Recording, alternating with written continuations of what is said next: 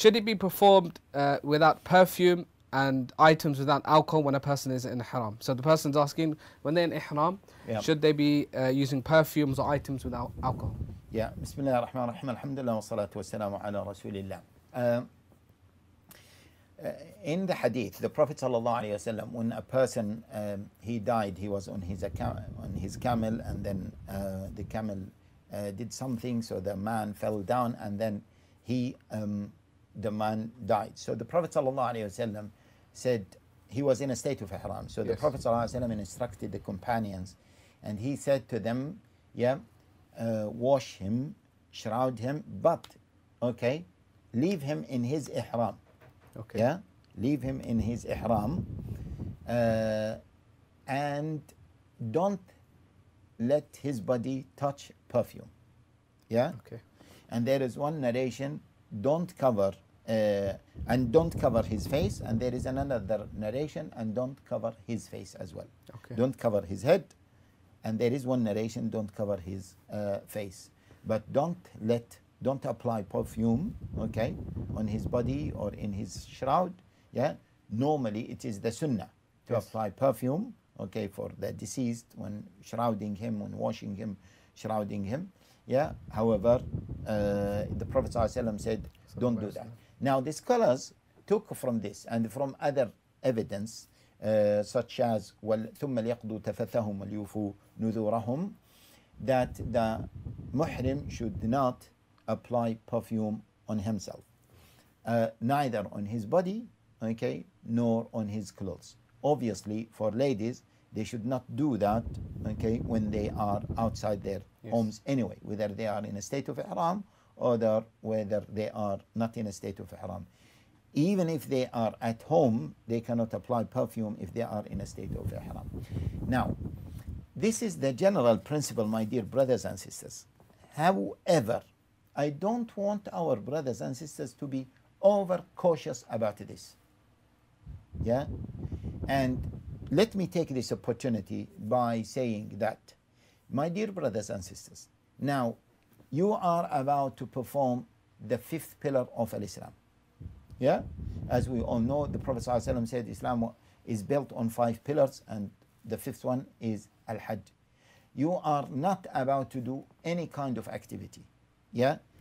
You are about to do an action that is considered to be the third best of actions. The Prophet ﷺ once said, uh, once asked, what is the best of deeds? So the Prophet ﷺ said, Imanun billah.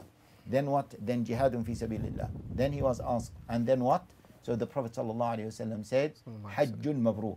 You are about to do an action that if you do it according to the sunnah of the Prophet ﷺ without being involved deliberately in major sins, okay, or deliberately in uh, deliberately in major sins, or committing many uh, minor sins frequently and insisting on them, you will have all your previous sins wiped out. The Prophet ﷺ said, Al-Hajj al-Mabrur laysa lahu jazaun illa al-Jannah. Now, that should be the focus, okay? Not, and you should ask, how do we, how should we perform uh, this Mabrur Hajj? How do we achieve most of our Hajj?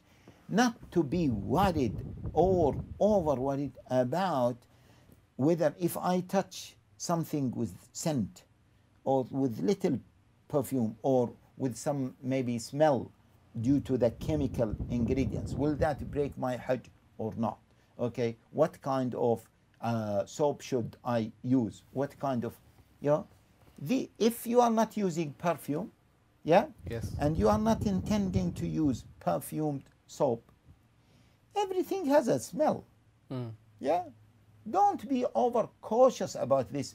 Please, my dear respected brothers and sisters. Yeah. Normally people jump into these questions. Last year or the year before, I had a, a situation of a sister. She, yeah, she was not with uh, our group. I was giving a lecture in another group, so she came. This sister, she, uh, uh, th- this was in Medina, yeah. Since she left, okay, Yeah. she was worried about uh, detecting or putting perfume, Mm. yeah. So to the level that In Medina, she was not in a state of ihram.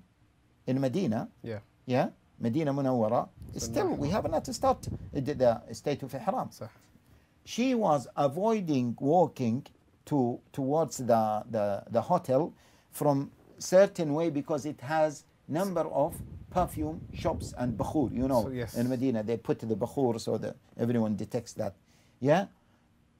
I said, why, sister? She said, because I don't want to break my ihram. I said, my dear sister, do you think that if you detect perfume, or even if you put deliberately perfume, that will nullify your hajj? That will break your ihram?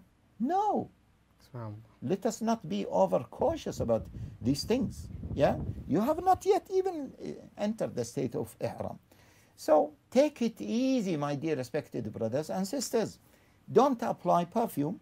Don't intend to use perfumed material. Okay. However, you came the soap. You used the soap. You cleaned your hands after that. You did not intend that. It was not clear, fragrant soap that just let it go. Okay? That is the general principle. People are asking, you know, toothpaste. Yes. It has uh, a taste, a or, taste a or, smell. a smell. Yeah? Shall we use it or not use it? Yeah, Habibi, okay, make it easy. Use, okay, something that does not have that. However, you used it by mistake or you did not intend it, you did not put attention to it, or خلاص, use it. You are going to clean your mouth anyway. جزاك الله Yeah. خير شيخ